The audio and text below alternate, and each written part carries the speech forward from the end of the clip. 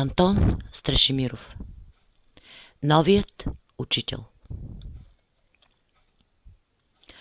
Плъпнали колибарчета из далечни гребени, бързат на училище, че нов учител им е дошъл. А той седи пред училището, изглежда и сподвежда децата, мери ги с сините си очи и ги вълнува.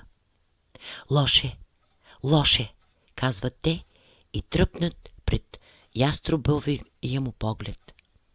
Скоро обаче слънцето огрява лицето на учителя. В училищния двор се явяват две братчета, два близнака, окъсани, рошави, синьоки и засмени. Аха! Изтръгва се неволно очудване от устата на новия учител. Я, елате тука, соколчета! Соколчета, хе-хе! Понася се в школото шепот и всички колибарчета хукват към учителя. И двете соколчета за червени, свенливо усмихнати, спират пред учителя. Братчета ли сте? Братчета. Близнаци? Двете близначета се спогледват като връвчета и си допират раменете. Онимяло училището. Онимял дворът.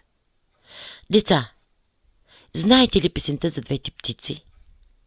Два сокола, два близнака, високо летели, по небе се вили, майка се дирили, усмихва се учителят.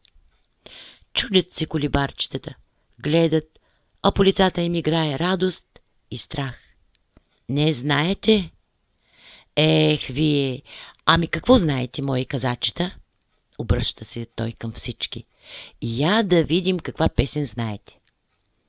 Колибарчетата мълчат. Те не знаят. Учителят, ги поглежда и глухо се сипва меденият му глас. Вятър ичи Балкан стени, сам юнак на коня.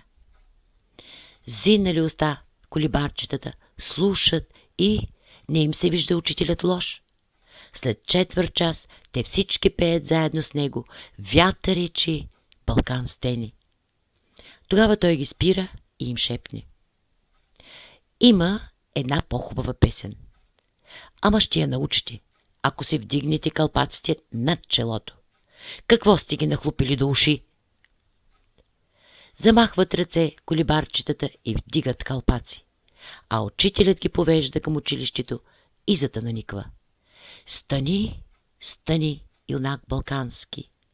От сън дълбок се събуди.